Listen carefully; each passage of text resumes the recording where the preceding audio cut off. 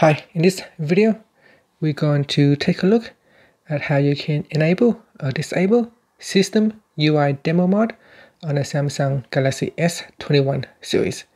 Now first tap on the home key to go back to your home screen. Then swipe down at the top and tap on the settings button. Next go down and tap on developer options. And then swipe down and tap on demo mode now tap on enable demo mode and then tap on show demo mode. Now if you take a clear look at the top here, if I turn off demo mode, it will show my current phone status.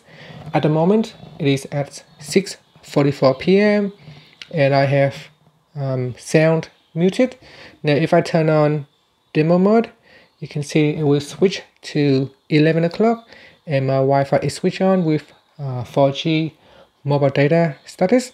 Now actually the time is not 11, it's just basically putting the phone in demo mode and that is what that demo mode does. It put the phone into a demonstrated uh, demonstration mode and uh, that's it.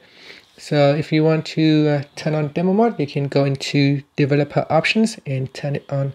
Now, if you do not see developer options available in your settings menu, what you want to do is go down to about phone then tap on software information and then tap on the build number seven times and that will turn on developer options in the settings menu. And that's it. Finally you can tap on the home key to return to your home screen. Thank you for watching this video. Please subscribe to my channel for more videos